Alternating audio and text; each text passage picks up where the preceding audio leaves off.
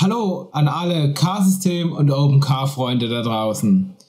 Herzlich willkommen zu einem weiteren Video über meine Tutorial-Serie Steuerung des Open-Car-Systems mit iCar. Schön, dass ihr dieses Video wieder eingeschaltet habt. Im letzten Video habe ich euch ja gezeigt, wie wir so ein Fahrzeug hier in iCar einmessen können, damit iCar weiß, bei welcher Geschwindigkeitsstufe das Fahrzeug wie schnell fährt.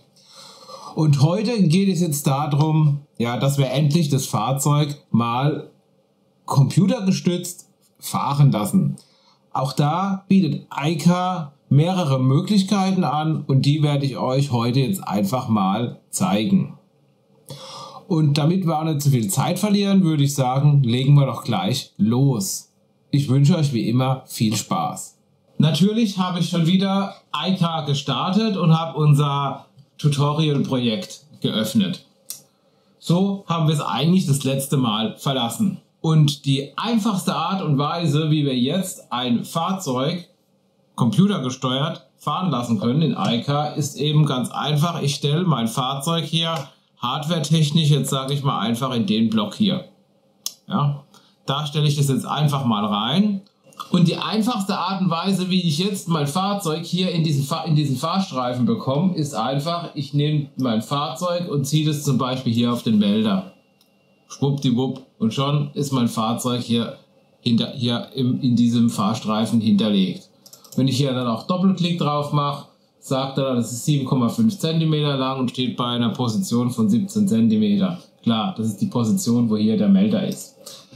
Ob das jetzt hier in der Realität wirklich meine 17 cm sind, ist es nicht so dramatisch, weil ähm, spätestens, wenn mein Fahrzeug jetzt losfährt und den nächsten Melder passiert, aktualisiert sich die Software. Und jetzt kann ich eigentlich hergehen, kann hier unten mein Fahrzeug auswählen und jetzt kann ich einfach hier unten über diesen Play-Button mein Fahrzeug hier starten.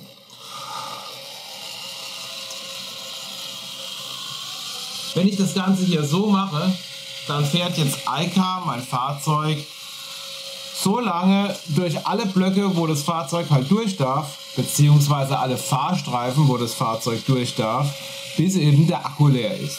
Ja? Ähm, ich gebe Eika jetzt keine Routen oder sowas vor, sondern Eika fährt das Fahrzeug komplett eigenmächtig. Ja, das seht ihr auch. Mal fährt es hier rein und mal fährt es hier rein. Ja? Wenn ich dann noch hergehe und jetzt gucken wir mal, wo er hinfährt. Ja, wenn ich jetzt dann hergehe und schalte hier zum Beispiel die Ampel auf Rot, dann hält er das Fahrzeug auch an. Ja. Und wenn ich die Ampel wieder auf Grün schalte, geht das Ganze wieder weiter. Also da kann ich ein bisschen die Fahrzeuge beeinflussen, aber ich habe jetzt halt keine genaue Kontrolle, welche Fahrstreifen mein Fahrzeug durchfahren wird. Das macht iCar vollkommen automatisch. Ihr seht auch, der Blinker funktioniert wunderbar. Ne?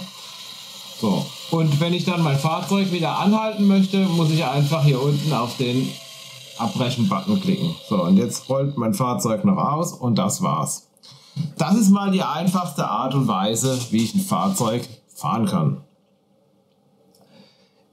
Ist, sag ich mal, relativ simpel und einfach und ja, erfüllt eigentlich auch schon seinen Zweck. Aber es gibt immer mal wieder Situationen, wo ich eigentlich eine genaue Kontrolle haben möchte, durch welche Fahrstreifen mein Fahrzeug fährt oder einem Fahrzeug eine genaue Route, ja, eine genaue Route äh, mitgeben möchte, wo ich sage, okay, Fahrzeug, du fährst jetzt durch, durch, die, äh, durch die großen Straßen in der Stadt. Mal ganz blöd gesagt jetzt, ja. Also, oder ich habe eine Buslinie, wo ich sage, mein Bus soll eigentlich immer eine bestimmte Linie abfahren. Der soll gar nirgends anders dahin fahren. Ja. Solche Sachen gibt es ja und dafür bietet iCar noch eine weitere Möglichkeit, die Autos zu steuern und die zeige ich euch jetzt. Und jetzt gehen wir einfach mal hier oben bei Bearbeiten auf den Auswahlpunkt Autorouten. Und hier sehen wir, öffnet sich so ein Fenster und das ist natürlich momentan noch komplett leer, weil wir haben ja noch nichts eingegeben und dann klicken wir zunächst erstmal auf Neu und wenn wir auf Neu klicken, werden hier oben unsere beiden Auswahlfelder, unsere beiden Felder hier oben editierbar. Und jetzt geben wir einfach mal ein, ich nenne das Ganze jetzt einfach mal Route 1. So.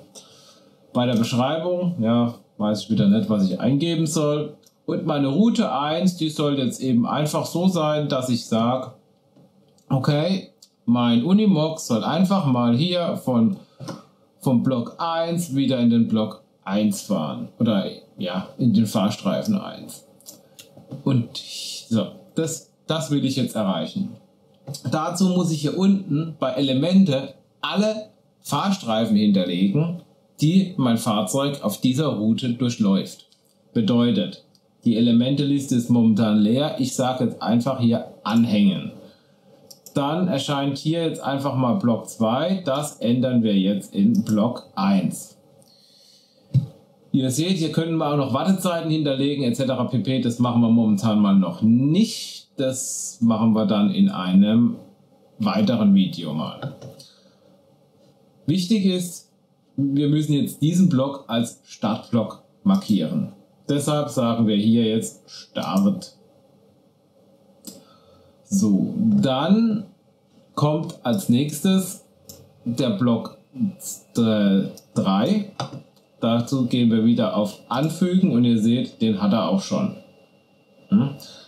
Und als drittes muss dann wieder mein Block 1 rein und ihr seht, er weiß eigentlich auch jetzt schon ein bisschen, wo die, wo die Reise hingehen soll. Ja, also Eika ist da schon so ein bisschen intelligent, dass das das merkt. Und ähm, ihr seht, hier ist jetzt so ein Plus drin. Das bedeutet, er sagt jetzt, ja, okay, ich kann hier in den Block 1 oder in den Block 2 fahren. Da ich aber in den Block 2 nicht möchte, entferne ich diesen einfach wieder und sage jetzt hier, mein Block 1 ist mein Ende. So. Das Ganze übernehmen wir und jetzt haben wir hier unsere Routen, oh Gott, Route, Route, Route, Route, oh Gott, was habe ich da eingegeben? Route. Ähm, ja, übernehmen nochmal, dass es auch richtig geschrieben ist. So, jetzt haben wir hier unsere Route 1. So weit, so gut. Da hätten wir jetzt die mal angelegt. Bei Optionen kann ich übrigens noch sagen, wie oft er das Ganze wiederholen soll. Also soll er einmal die Route abfahren, soll er zweimal etc. pp. Das Ganze lassen wir jetzt einfach mal auf 1. So, damit schließen wir auch das Fenster schon. Und jetzt müssen wir natürlich unser Fahrzeug noch auf diese Route setzen. Ja? Weil momentan hat er hier keine Route drin. Und wenn wir jetzt hier unten hergehen und gucken, ja, na, wo ist denn jetzt meine Route? Äh, ja, die fehlt momentan komplett. Damit die hier unten jetzt, damit ich die jetzt bei dem Fahrzeug hier auswählen kann, muss ich noch einmal bei Bearbeiten Autos rein, mein Unimog anwählen und hier bei dem Reiter Routen seht ihr, die Route ist aktiv, aber die muss ich auch noch auswählen damit eben Eika auch weiß, aha, die Route ist für dieses Fahrzeug gültig. Das Ganze natürlich mit Übernehmen wieder übernehmen. Und wenn wir jetzt hier unten bei Route gucken, da, ha, guckt mal einer an, da ist meine Route. Und jetzt wähle ich einfach meine Route aus und hier, dann kann ich wieder hier auf meinen Startbutton klicken und mein Fahrzeug fährt eben genau diese Route und das Ganze genau einmal. Ja, so einfach ist das Ganze. Und wenn ich wieder auf Start klicke, dann macht er das gleiche wieder.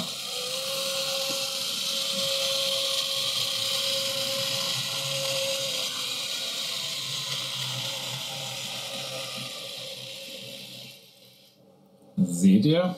So einfach. Jetzt können wir natürlich auch noch mal reingehen, gehen noch mal in unsere Autorouten und sagen doch einfach mal hier, na, dann fahr halt fünfmal das Ganze.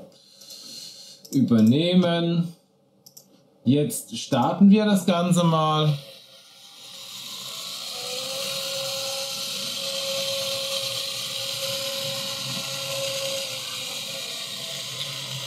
Und ihr seht, ähm,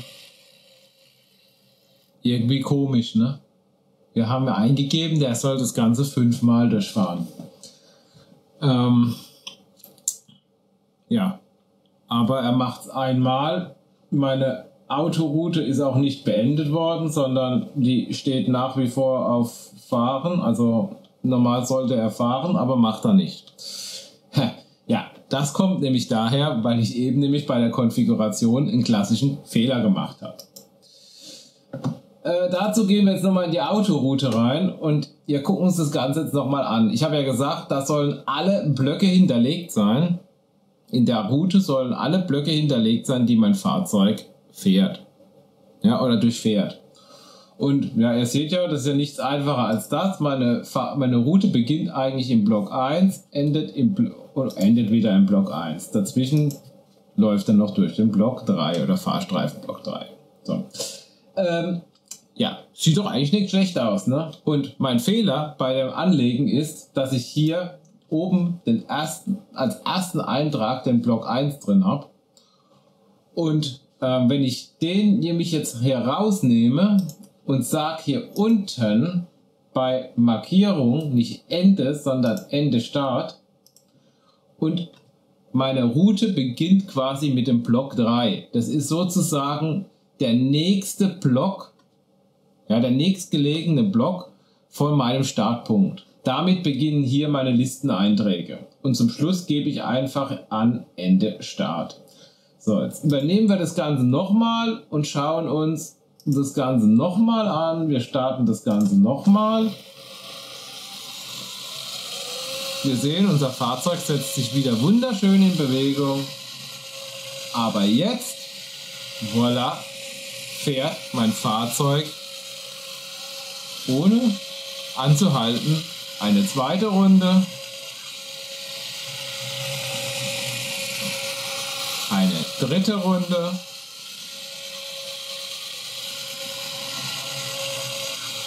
Eine vierte Runde.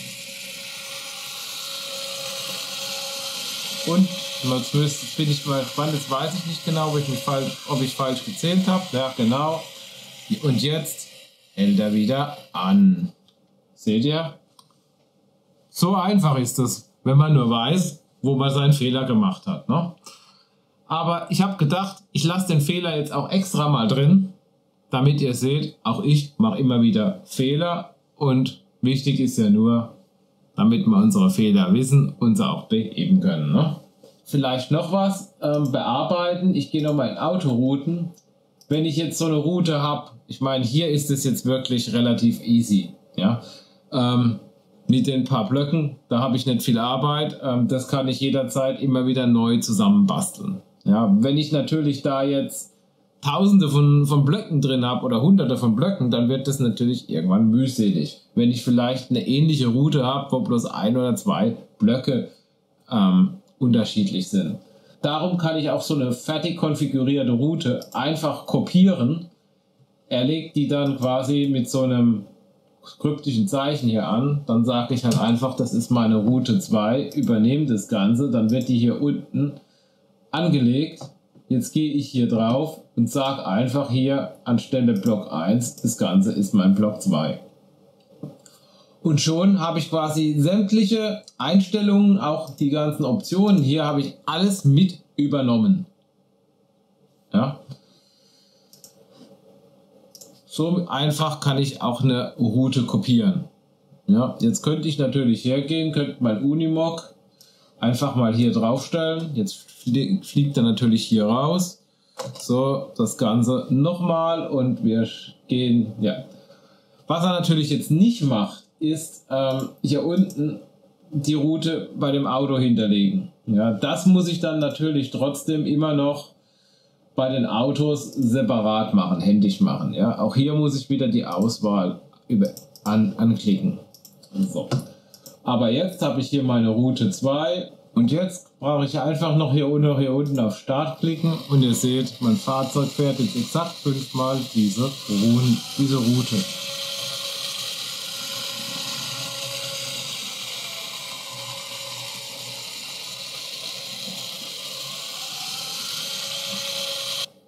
Damit sind wir auch schon wieder am Ende des heutigen Videos angelangt. Natürlich kann man mit den Autorouten noch viel, viel mehr machen und so weiter. Aber ich denke, für den Einstieg reicht das Ganze einfach mal. Wie immer hoffe ich, dass euch dieses Video gefallen hat. Wenn es euch gefallen hat, gebt mir gerne den Daumen nach oben. Wenn ich irgendwie was Falsches erzählt habe, dann ja, schreibt mir es gerne in die Kommentare, dann werde ich das Ganze irgendwie nochmal über ein separates Video nochmal berichtigen. Ansonsten wünsche ich euch wieder eine gute Zeit und hoffe, wir sehen uns im nächsten Video wieder.